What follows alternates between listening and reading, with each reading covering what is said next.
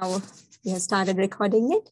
Uh, so we'd like to inform you that the meeting is being recorded and your continuing participation implies consent for the recording.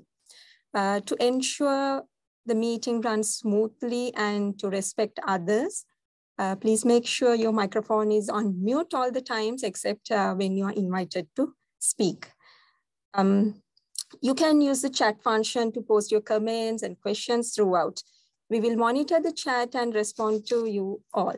And uh, during the Q&A session, if you wish to speak, please raise your hand using the Zoom icon uh, from the reactions in the toolbar. And in case of any technical difficulties, please post a message to us in the chat, okay?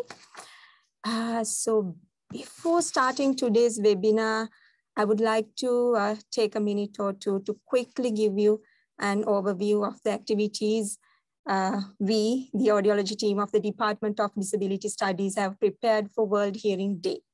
This year, we are collaborating with the World Health Organization and Ayati Center for Children with Developmental Disabilities to spread the theme for this year on maintaining good hearing across the life by means of hearing loss prevention through safe listening.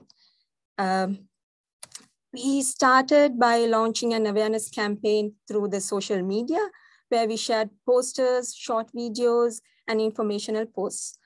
On uh, 28th February, we conducted an awareness program at a public place in Colombo and a hearing screening program for the academic support staff of the Faculty of Medicine, University of Kelaniya, which uh, will be continued today and tomorrow. Um, so uh, for tomorrow, we have organized a special program on safe listening uh, with a hearing screening and a set of listening activities for the young adults and adults with autism spectrum disorder and Down syndrome at Ayati Center. Um, I also invite all of you to watch the Pathikada program of Sirasa TV channel for a talk on World Hearing Day and Safe Listening by uh, Ms. Dinukshi Leperuma, a senior lecturer of our department. Okay, so let's move on to today's activity. Let me introduce the webinar speakers, Prof. Uh, David Welch and Ms. Eranthi Liana Duva. So uh, Professor David Welch is the head of the audiology at the University of Auckland. Uh, his research interests are hearing health promotion, screening for hearing loss, uh, the impact of noise on health, soundscapes, uh, the role of cochlear implants in human outcomes, um, and community hearing health issues. He currently teaches auditory physiology, auditory behaviors, neural underpinnings, and noise-induced hearing loss. He has held government advisory roles in hearing screening and workplace health and safety and serves on many boards and committees. Ms. Eranthi Liana is a lecturer in audiology at the Department of Disability Studies, Faculty of Medicine, University of Kelaniya. And she completed her bachelor's in audiology and master's in public health in epidemiology uh, from University of Kelaniya. Eranthi is currently a doctoral candidate in audiology and health promotion at School of Population Health, University of Auckland, New Zealand. Um, Eranthi's research interests include uh, noise-induced hearing loss and behavior changing health promotion. So Professor Welch and Eranthi, thank you so much for taking your time from your busy schedule to prepare uh, today's presentation.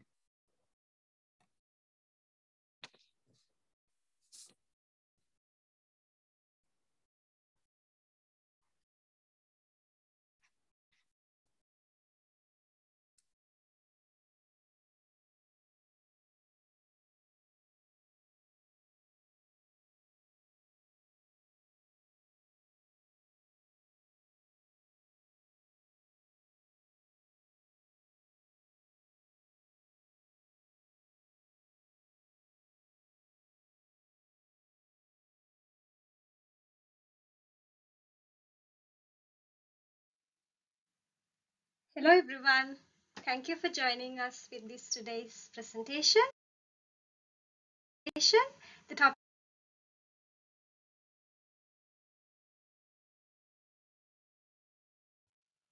And the two of us are going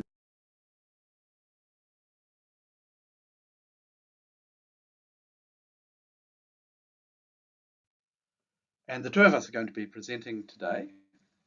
And sitting on my right is Eranthi Lianadua Kankanamge. She's a lecturer in audiology at the University of Kelaniya, and she's also doing her PhD with me at the University of Auckland here in New Zealand.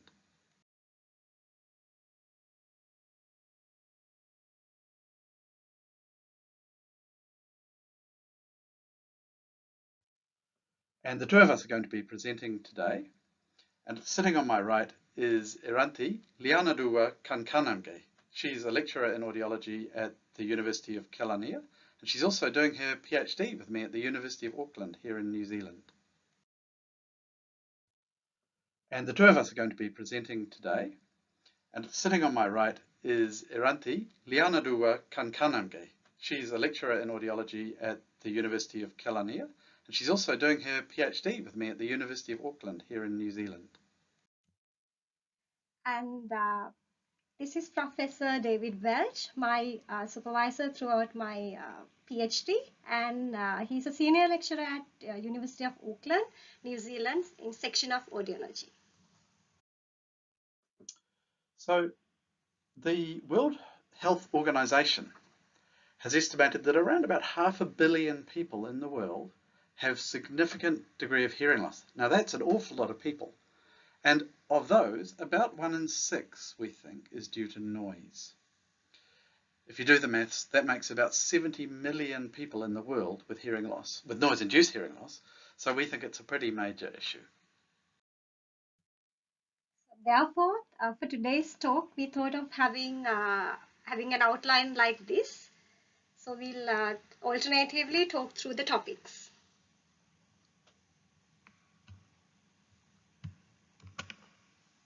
First, we'll be talking about how uh, sounds or noise can damage your ear and hearing. You can uh, get exposed to many levels of like different sound uh, noises, loud noises uh, through different exposures. It can be workplace related exposures or we'll be referring it as occupational noise exposure or else it can be like leisure time or recreational activities like uh, listening to loud music through headphones or listening to loud uh, sound while playing video games or uh, attending to uh, like very noisy concerts. Or even it can be through religious activities uh, can be it can be in temples uh, mosques or church. So make sure that when you are like uh, exposing to loud sounds, this can damage your he hearing. So uh, hearing loss resulted from noise is referred as noise induced hearing loss and it can be happen in many ways. Uh, even it can be happen as a sudden uh, like a single minute exposure to very loud sounds or it can be happen or built up over time.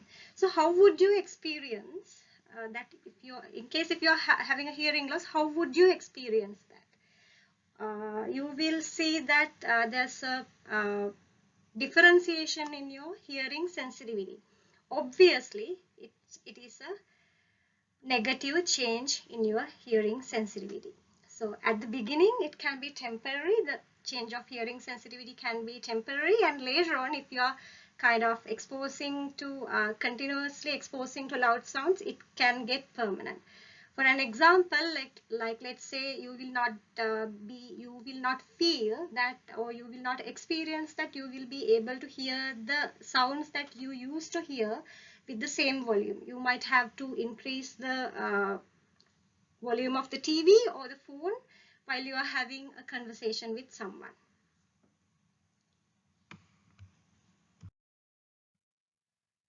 And uh, this one, this graph, we call it uh, as an audiogram. It's a result of uh, like pure tone audiometry. So in the first one, I'm not going into the details of the audiogram, but uh, in this blue area, the top area, we'll refer like if somebody's hearing uh, sensitivity is falling within this blue area, we call them as uh, having normal hearing. But like in case if your hearing sensitivity is reduced, this can fall and be uh, beyond the blue area. There you can experience a certain degree of difficulty uh, to hear. But with the exposure, let's say you are being exposed to uh, noise continuously, this can further damage uh, and your uh, hearing sensitivity can be like uh, negatively fallen down into this green area where you experience a significant amount of hearing loss, hearing sensitivity.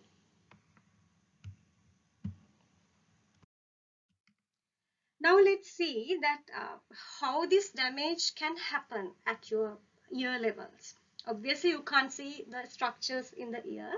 This is a, uh, this is a microscopic picture of your inner ear and it has uh, like tiny teeny little cells which will uh, help you to convert the sound energy from the environment and uh, you will be able to process at the brain level. We call them as hair cells, little tiny teeny hair cells. So what will happen, uh, you can see what will happen in the next picture with the noise exposure. At the beginning, they will uh, stay intact like normal, but with the continuous exposure, it will get damaged. As you can see, see, uh, like in the first picture, we have like fine, uh, fine-tuned rows of uh, like little hair cells with U and V shapes, but later on with the exposure, like it's very disorganized and you can't even see the flow. So that that is what will happen with the continuous noise exposure. And if you still continue uh, with the exposure, so uh, initially it will get damaged, but later on it will disappear. So once it's gone, once the hair cells are gone, it is gone forever. That means your hearing is gone forever. So uh, we all are mammals, uh, like we, we all are humans, and so we are falling under the category of mammals. So these tiny uh, hair cells, like sensory cells, cannot get recovered or cannot uh, get healed in mammals. So that means our hearing will not recover if you uh, if you if your hair cells get damaged. So the only thing that we can do is to replicate what you had previously like let's say your uh, leg is broken, you will be using crutches to walk. But still, it will not function as your working legs, right, Prof. David? Mm. And then like the same thing with hearing loss as well. So you will be asked to wear a hearing aid uh, to replicate the function that you had previously, but according to the current level of the research, still we will not be able to replicate what you had previously. Your normal hearing we will not be able to replicate. So it's just an like a supportive, supporting thing. So which which leaves us with the only option of uh, prevention, prevention of uh, getting exposed to loud noises or sounds. So then we'll refer that prevention is the only cure for noise-induced hearing loss.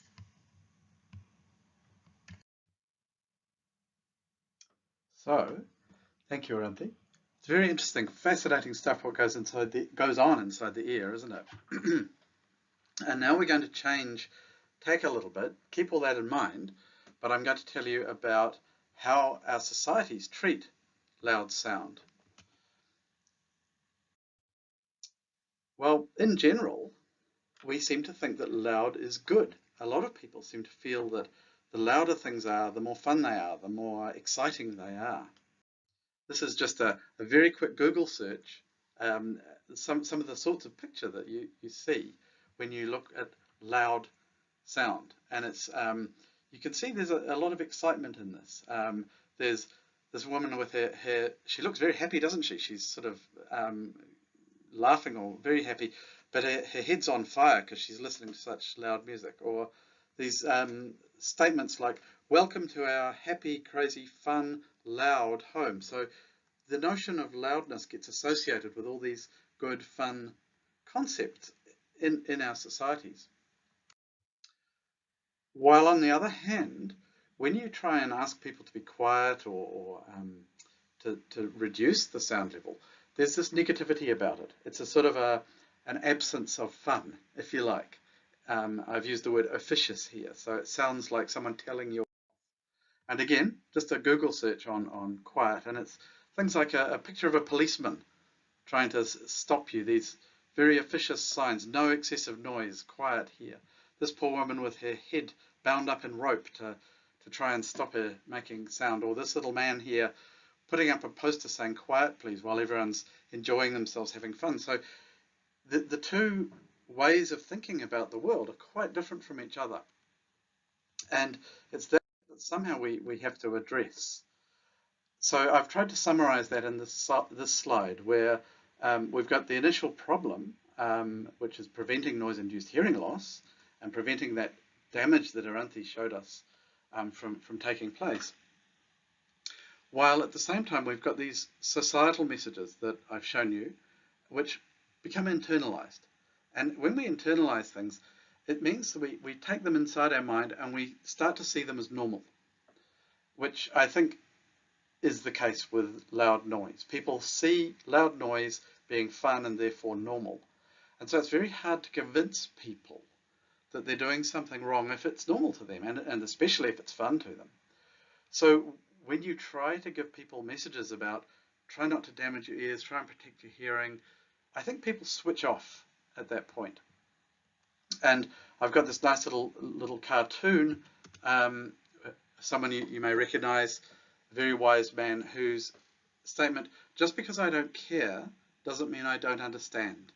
So people like Eranthi and I can educate um, others as much as we like, and even if they understand what we're saying, they often won't care about it because it goes against what they see as the normal. It goes against what they accept as a normal way of doing things.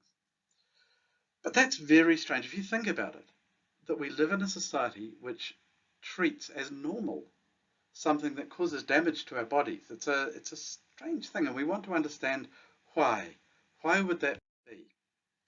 Well, that's what the next part of today's talk is going to be about. I'm going to tell you about some um, theory we developed based on research on why people like loud sound. We interviewed a whole lot of people, um, and one of the very common statements that people made when we said, why do you like loud sound? They say it's fun. And then we started to explore, well, why? Why do you think it's fun?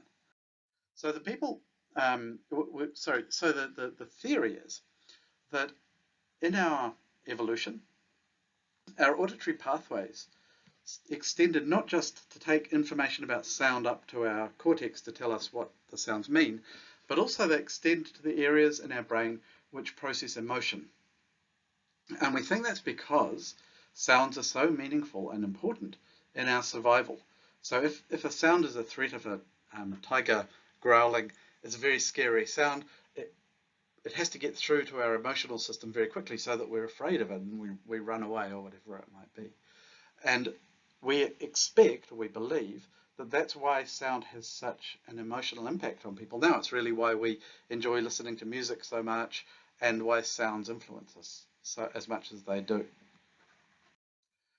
So to explore this theory a bit more, we interviewed a whole lot of people and we chose people who know about loud sounds. So we focused on people who either go to or work in nightclubs because we know they're places where people go when they want to listen to loud music.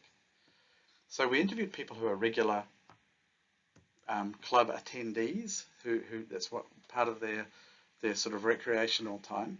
We also interviewed musicians and DJs who work in um, clubs who play very loud music to people, and the managers of the clubs who control, if you like, the, the sound level that people are experiencing and witness the, the kind of noise exposure that club goers have. And we came up with this model, which it looks pretty complicated, and it is kind of complicated, but what I'm going to do for you now is to break it down into its constituent parts to try and explain how it works. Um, essentially, it starts with loud sound, the loud music being played in the nightclubs. Now, we know that in general, if you take a, a little child and play very loud music to it, a child will put their hands over their ears. They'll feel uncomfortable by it. And we all do, at first at least. We, we feel this sense of discomfort when we're exposed to loud sounds. However, our auditory system is very, very complex. And Eranthi, you've shown us how the auditory system works just before. Well, what we didn't talk about was how adaptive the auditory system is. When we go into a very loud place, imagine or cast your mind back perhaps the last time you went into a nightclub or a, a loud party where the music's really loud and people are having lots of fun perhaps. The, as you walk in, the sound hits you and it seems very, very loud. But the longer you're there for, the more your auditory system adapts to that loud sound. And so gradually you start to tolerate it. Gradually you start to accept that, okay, it's loud, but I've got used to it now. And that component, I think, is very, very important. The fact that our auditory systems adapt to the loud sound so it doesn't seem as loud is an important component in all of this. This graph shows you the result of some research that we did in nightclubs around Auckland City in New Zealand. Uh, along the horizontal axis here is the time of day, from 9 o'clock in the evening through to about 2 in the morning. And on the vertical axis here is the level, the sound level. Now, I should explain to you that 85 decibels, this is the legal limit for workplaces to have uh, the legal sound level before the employer is required to provide hearing protection for his workers. Um, and around about 9 o'clock in the evening, that's about how loud the sound levels in nightclubs are. And then through the course of the evening, the sound levels gradually get louder and louder up till about midnight when they seem to level off. Now, we believe that this gradual increase in the loudness, which of course is controlled by the staff of the nightclub, is really driven by the, their developing tolerance for the loud sounds. So they gradually turn the volume up on the, the sound levels as their own hearing adapts to the sound around them so that the sound gets louder and louder through the evening.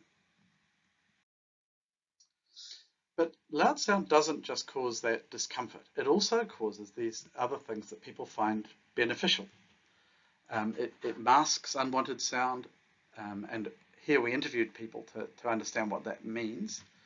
Um, th people said things like it blocks out life and noise. It distracts you from other sounds going on around you. So we all live in noisy places, and loud music can block that. It can and give us something to listen to that's perhaps more pleasant.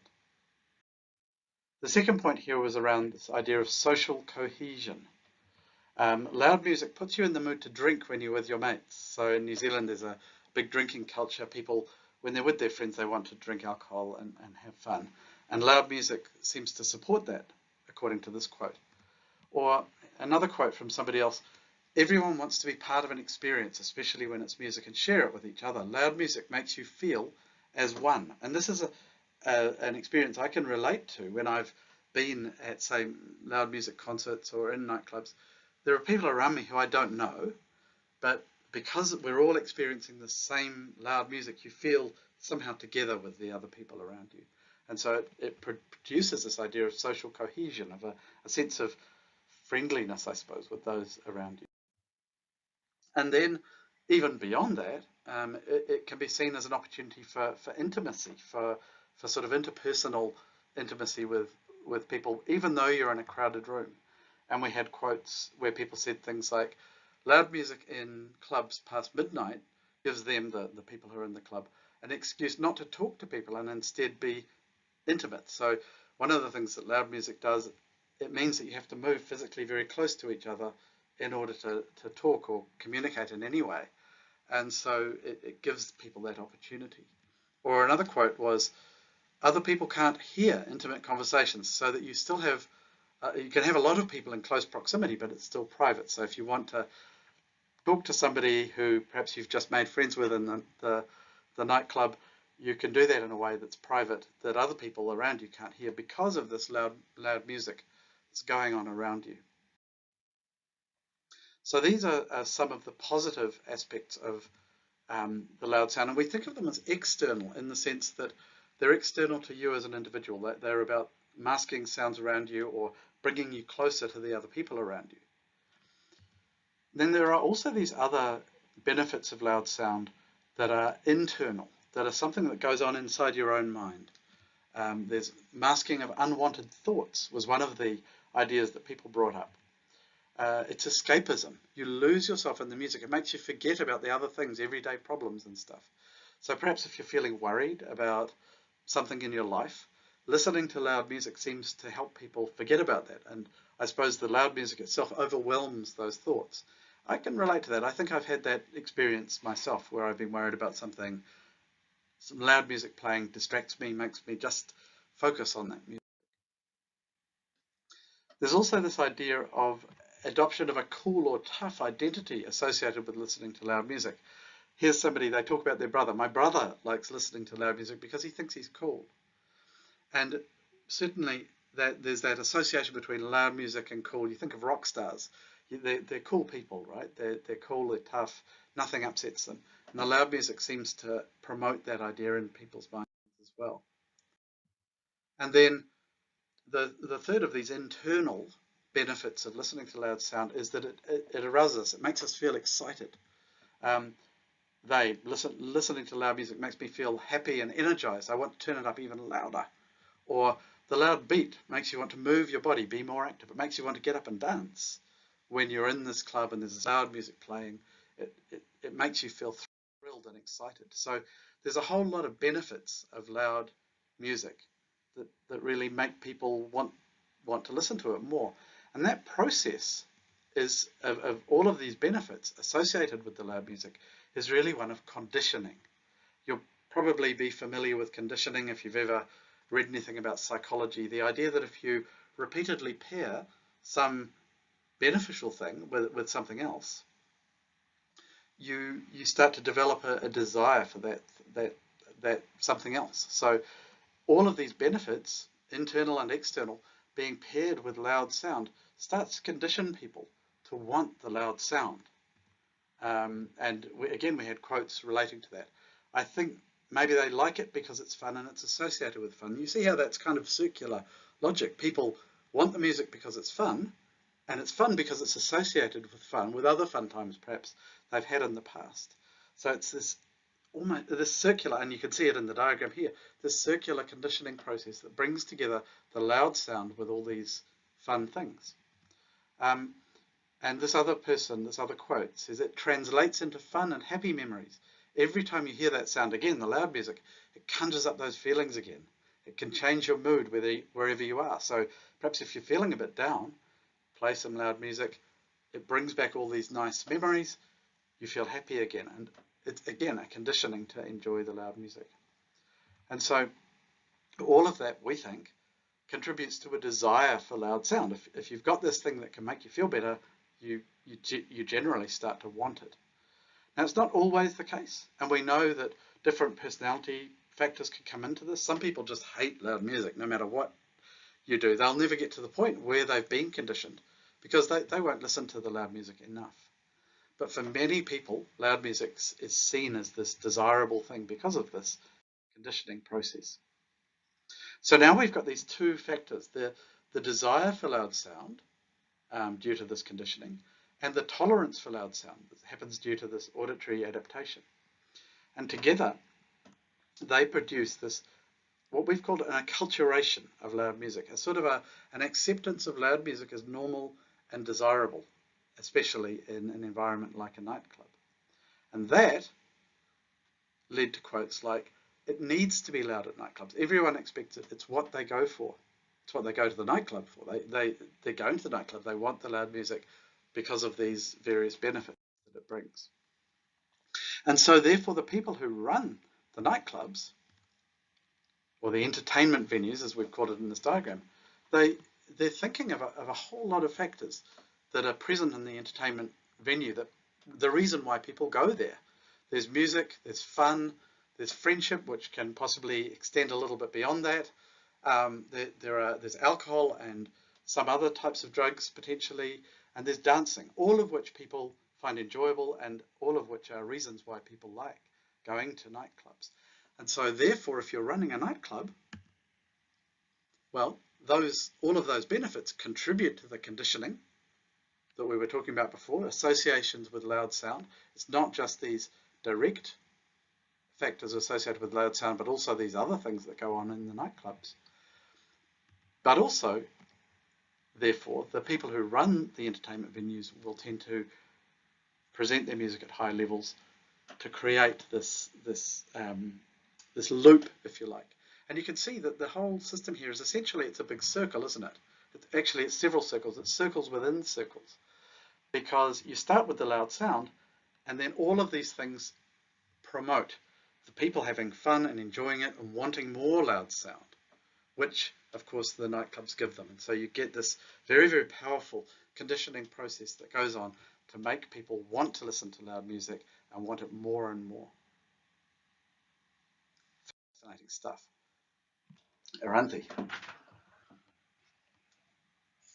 Uh, now I think you have a better idea of what is going inside your mind and brain when you're exposed to loud sounds. Uh, your mind and brain will still say that like uh, it's fun. it's engaged uh, with this. But as I was telling you previously, once it's gone, it's uh, gone forever. So we should take uh, necessary actions towards safe listening there comes our uh, program called Dangerous Decibels. As I was telling you earlier, so what we have to do, uh, I, I, know that we have to listen to our mind and brain sometimes, but in this case, for recreational and uh, like loud noises, we have to uh, like take it as a certain level of stop.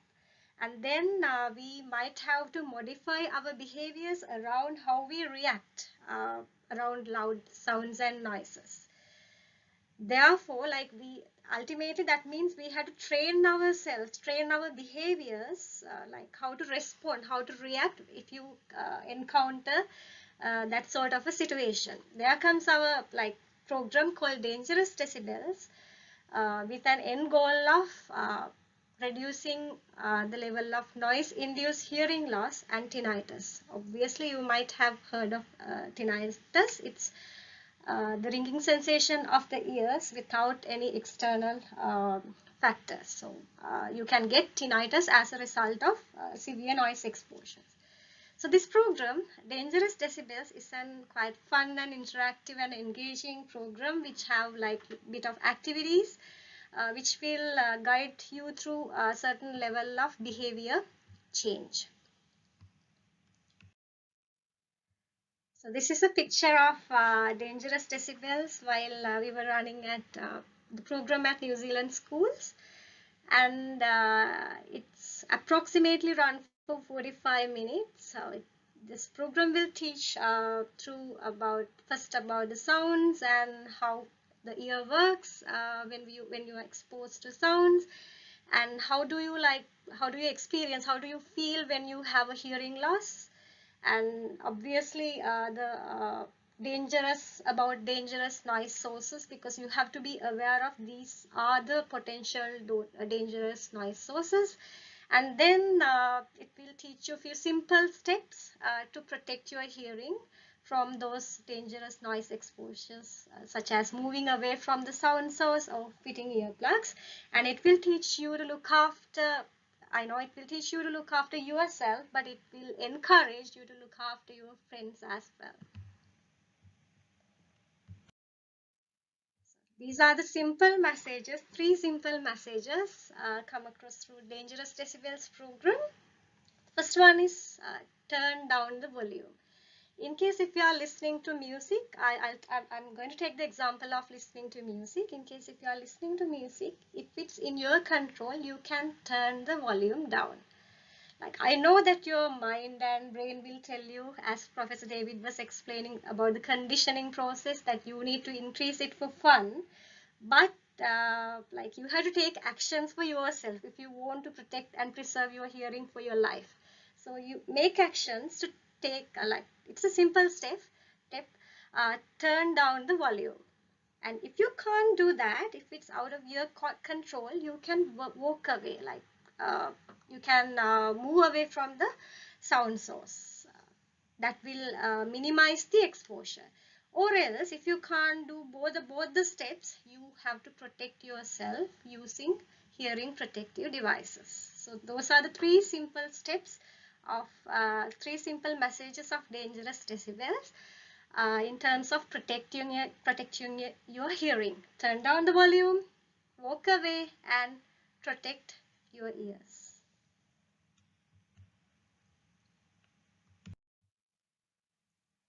And uh, initially this, this program has been developed for children but uh, we have adapted this program for adults. It has the same basic components as I was telling you earlier with the same level of interactivity and the same length, approximately 45 minutes. But the examples uh, and the demonstration has been adapted according to the levels of uh, like workplace exposures, which will give more sense. This is a picture of administering dangerous decibels program at uh, one of the workplaces. This program has been administered at that workplace tea room. And here you can see the demonstration of hair cells, how the normal hair cells and how it has been damaged over like certain level of noise exposure.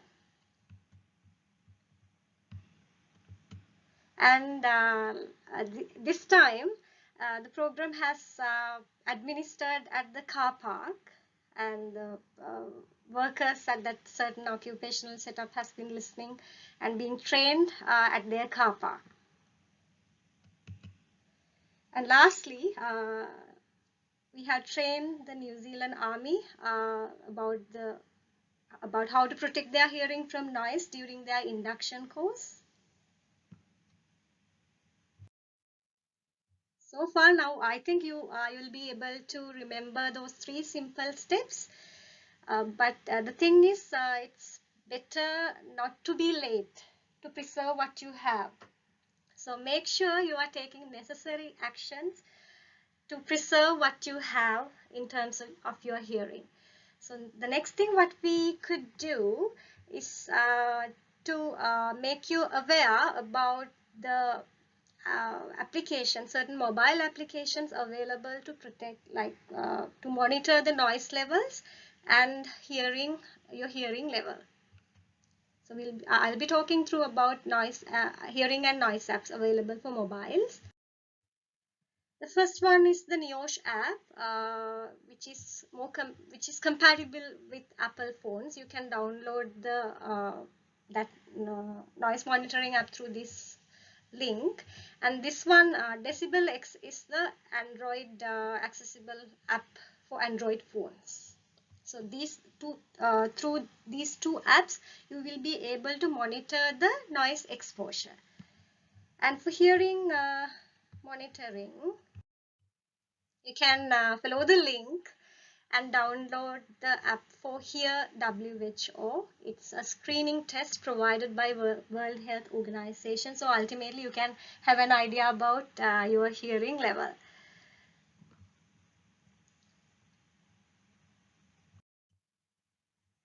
Over to you, Prof. David. Thanks, Eranthi. So this is really just a, a summary slide, uh, just to go over what we've told you in our talk.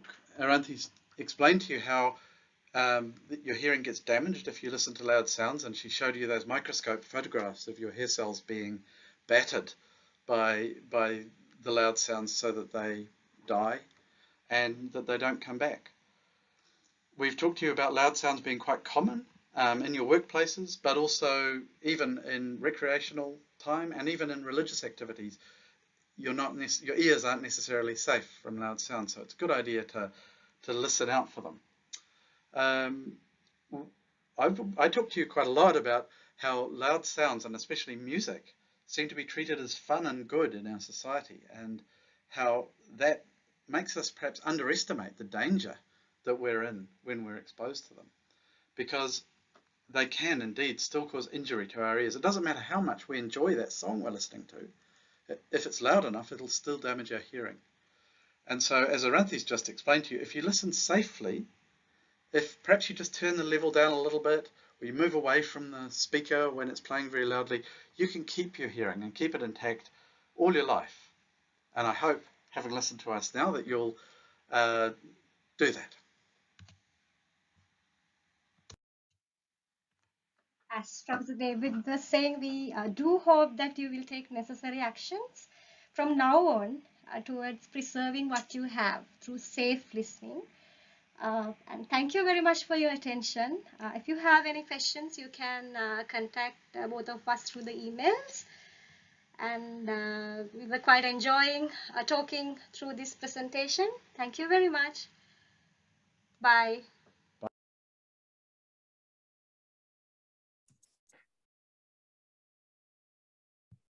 Thank you so much, uh, Professor Welch and Eranthi, for that uh, interesting and uh, informative presentation. Um, so we don't have uh, any questions in the chat, but uh, we do have a few minutes uh, left. so if the audience have any questions, you can um, take the floor now.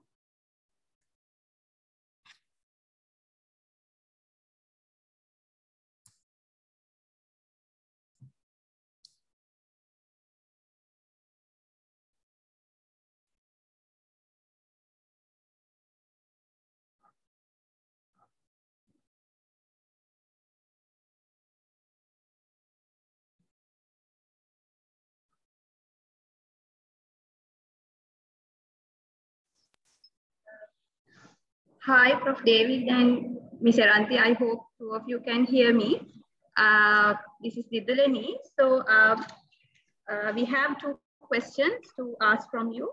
Uh, the first question is about uh, the dangerous decibel program uh, that you two going to initiate for different populations. So we would like to ask that how did you monitor uh, whether they're gonna continue on using the strategies that you two gonna initiate during the program. Uh, we would like to know about that. Uh, Eranthi, shall I answer that or would you like to? Uh, Prof, uh, if you would uh, like to answer, you can uh, go with that. If I if I want to add anything, I'll add. Sounds good. Okay, well, yeah. I, uh, it's it's a very good question. We uh, you know we we do all this training and we we want to know that it works. Well, in the past, we've used a questionnaire that was developed by an American group, the group who first developed the Dangerous Decibels program, and that questionnaire was quite good, and it certainly showed that the training, the Dangerous Decibels training, had a long-term effect. But Eranthi has been working on, as part of her PhD, a new questionnaire, which is designed to be much more effective and more sensitive to changes after the Dangerous Decibels program. So, in fact, you are your question is at the cutting edge of science, and Eranthi is is the one who's driving that work. Is that fair to say, Eranthi? Uh, hello, I, I hope you can hear me. Yeah, uh, I think uh, Prof. David has given a fair, like uh, a good answer. So uh, what I can tell about, like if I want to add uh, something more, like uh, even in the program, we are talking about behavior changes. Obviously, uh, the behavior changes has been uh, monitored through a different uh, health promotion approach but the thing that we are doing right now, the, uh, we have changed it uh, according to the uh, most uh, current behavior changing approaches. So uh, we are going to monitor the uh, changes of the behavior through that new approach.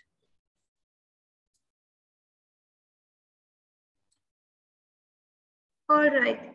thank you very much for the explanation. And the next question is about I mean, the way that the program has initiated. So we would like to know that whether uh, you are about to introduce regulations to the government about how to uh, uh, kind of uh, regulating the noise sources in recreational venues and other occupational related noise exposure kind of uh, informing the relevant stakeholders and uh, initiating regulations for that. So any initiations from that side? Yeah, that's another good question. Um, there, there aren't really regulations about re recreational noise exposure because the government doesn't like to interfere with people's um, recreational time. So it's it, it doesn't. I don't think there's an interest from the government to do that. Um, but I think the, the approach that we're trying to take is educating children in schools so that hopefully they've got this understanding of the vulnerability of their ears. And so as they grow up, they're perhaps less likely to want to, to risk their hearing, or at least when they do risk their hearing, they, they do it in, um, in more measured ways, or they, they do it with a full understanding. Um, but yeah, it's a, it's a very difficult question, that one, because it's, it's tied up with you know human freedom to to do do what we want to, and I I, wouldn't feel comfortable having a law saying people couldn't listen to music loudly if they if they wished. Um, I, I, don't know. I, what do other people think about that? Duranti, what do you think? I think uh, it's the same because when it uh, with, with the personal space, especially with the recreational noise sources, uh, it's actually people's choice. Hmm. But uh, like uh, even I think from in New Zealand, there's a noise. There are noise regulation after ten o'clock, right? Like uh, they can't disturb. Uh, what I think you can explain more about that. No, that's a different type of noise regulation. Now that's about disturbing people when they're trying to sleep or, or that kind of thing. Yeah. It's not talking about preventing noise induced hearing loss. So if someone's listening through headphones, for example, they could be playing at a very high level and doing a lot of damage to themselves. Yeah, I think uh, we have another question from the chat. Uh, it's again, uh, it's from Nuan. He's asking about uh, regulations, uh, uh, norms, and suggestions to address religious noise exposures? You you you have a go at answering that, Eranthi. Can... There's a few questions in the chat actually. Yeah.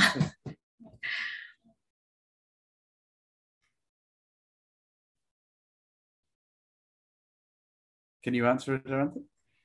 Uh, according to the current regulations, I think if uh, if miss Dinukshi wants to add uh, anything to this conversation, uh, feel free to add because it's her area as well.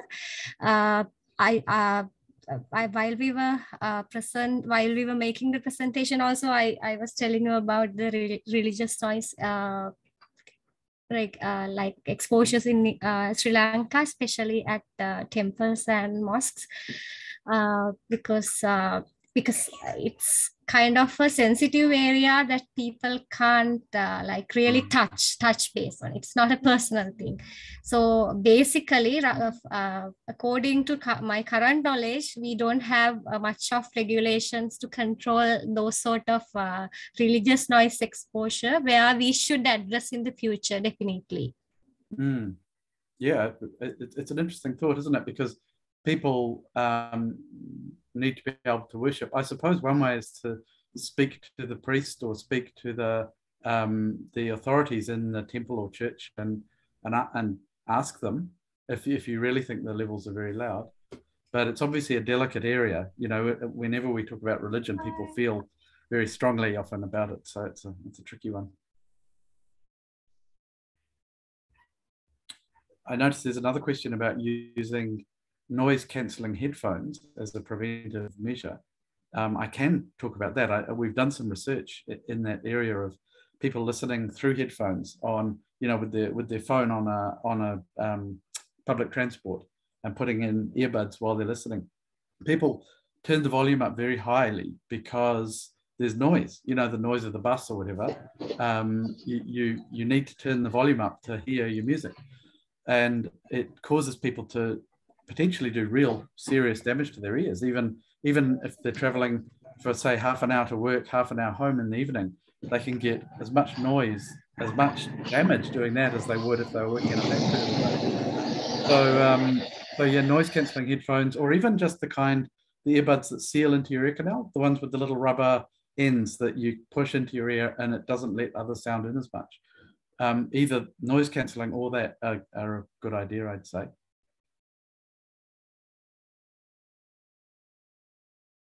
Ooh, Dinukshi's put a noise act in the chat. What's that about, Dinukshi? Uh, hi, Dr. Welch and Eranthi. Hi.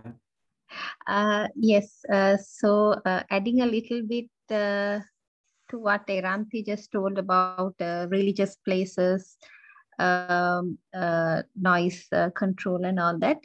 So uh, still, I know that we have some noise regulations on paper, but these are not really implemented. So mm. actually, uh, as uh, Prof. Welch said, I mean, it is a little bit of a sensitive area um, and uh, it could lead to other unforeseen issues. Um, so uh, I just sent this um, Regulation Act, uh, which is given by the uh, Environmental Authority. Uh, but uh, actually, we should make uh, the necessary steps to implement these laws or regulations, at least to some extent, if not to the exact extent. Um, so that is adding a little bit on to that. Thank you. Mm, thank you.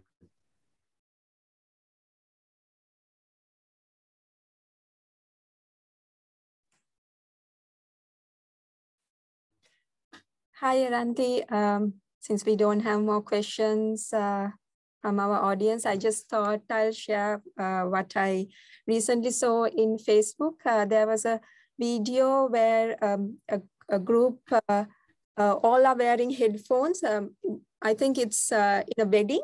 So all are wearing headphones and the DJ is, you know, sharing the music through the Bluetooth to all the headphones. So the person mm. who recorded it, like it's mute, but everyone is dancing. It, uh, so, so I think uh, I think we, we should look into that aspect and uh, maybe not to suggest uh, such thing um, for the clubs because they also cater different uh, aspects um, uh, for the people when they come to the nightclubs, but maybe to other programs like weddings or the parties, isn't it? What do you think?